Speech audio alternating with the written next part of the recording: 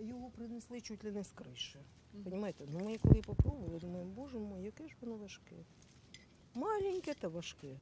Пані Віра показує металевий уламок російського снаряду, який окупанти запустили у житловий район Нікополя. Жінка розповідає, гатили посеред білого дня. Боєприпас впав у кількох метрах від багатоповерхівки. У будинку повилітали всі шибки. Вікна вже частково закрили листами ОСБ, а посічений дах закрили лише тимчасово.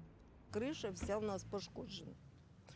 Він приніс нам, показав, ну там він кое-як полагодив, та людина, що ми його найняли. І будемо тоді звертатись в міську раду, яка нам навіть якось поможе. Тому ми самі не зможемо поміняти кришу. Ну, може, не капітально, але якось відремонтувати краще її, розумієте? А наскільки ось багато таких уламків? Ой, багато. Я тільки що кидала такий здоровий уламок. Важка артилерія, гранатомети і гради з такого озброєння російська армія щодня обстрілює Нікополь. Останнім часом часто стали скидати вибухові пристрої з дронів. Була сильна взривна волна. Сильна вибухова хвиля, скло летіло, все трусилося. Особливо страшно не було, бо навіть не встигли злякатися.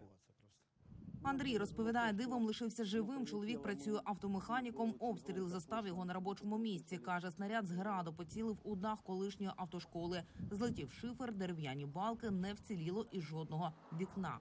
Якщо 50 метрів сюди ближе к нам, то тут би Якби 50 метрів сюди ближче до нас, то тут би було все дуже сумно. Багато людей було, купа автівок стояло.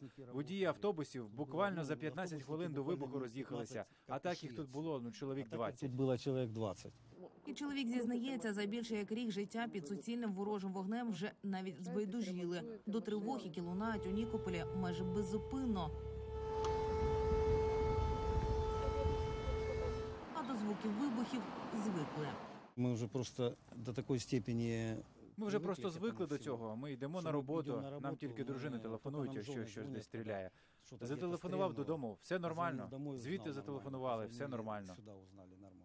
За час великої війни російські снаряди понівечили у Нікополі майже 4,5 тисячі об'єктів інфраструктури. На сьогодні майже 70% наслідків у житловому секторі ліквідовано.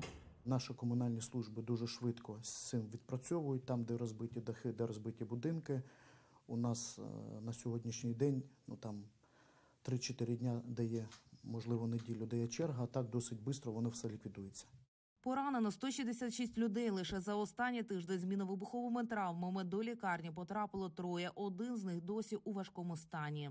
Дві особи ще в лікарні, один вже на амбулаторному лікуванні, один в такому в тяжкому стані, але вже стан стабілізувався. Е, Він йде на одужання, на покращення. Дякувати Богові. У Нікополі залишається до 50 тисяч жителів. Їхати з міста кажуть не будуть, бо вважають своїм обов'язком тримати свій фронт економічний, соціальний, медичний.